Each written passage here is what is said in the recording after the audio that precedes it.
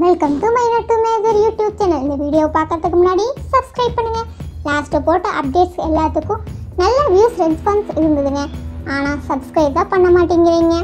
நீங்கள் சப்ஸ்கிரைப் பண்ண பண்ண தான் எங்களுக்கு மேலும் வீடியோவை போடணுங்கிற ஆர்வத்தை வந்து உண்டாக்கும். அதனால் நீங்கள் வந்து மறக்காமல் இந்த வீடியோ பார்க்கறதுக்கு முன்னாடி சப்ஸ்கிரைப் பண்ணுங்க. அதோட மட்டும் இல்லாமல் கீழே இருக்கிற பெல் ஐக்கானையும் கிளிக் பண்ணுங்க.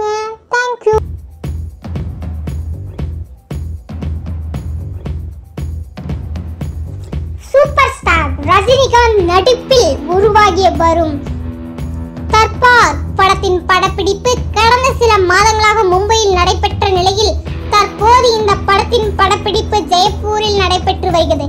இந்த படப்பிடிப்பில் ரஜினிகாந்த் நயன்தாரா உள்ளிட்ட படக்குழுவினர் கலந்து கொண்டனர். இயக்குனர் ஏ ஆர் முருகதாஸ் ரொமான்ஸ் மற்றும் பாடல் காட்சியை படமாக்கி வருவதாக தகவல்கள் வெளிவந்துள்ளது. படப்பிடிப்பு முடிந்ததும் ஒரு ஆக்ஷன் காட்சியின் படப்பிடிப்பும் அதனை அடுத்து வெளிநாட்டு பாடல் காட்சியின் படப்பிடிப்பும் நடைபெறும் என படக்குழுவினரிடமிருந்து தகவல் கசிந்துள்ளது.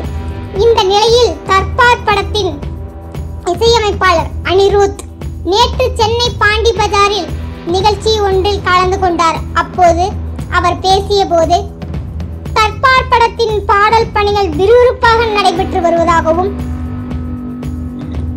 வரும் நவம்பர் வெளியீட்டு விழா நடைபெறும் என்றும் தெரிவித்தார்.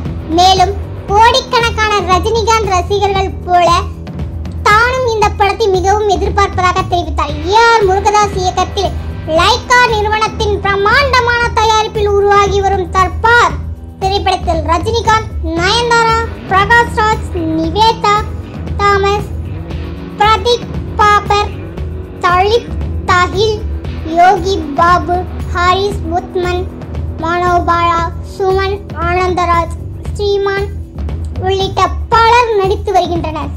சந்தோஷ் சிவன் ஒளிப்பதிவில் ஸ்ரீ ஸ்ரீகர் பிரசாத் படத்தொகுப்பில் லைக்காவின் தயாரிப்பில் இந்த படம் வளர்ந்து வரும். இந்த படம் அடுத்த ஆண்டு பொங்கல் தினத்தில் வெளியாக உள்ளது என்பதை குறிப்பிடத்தக்கது.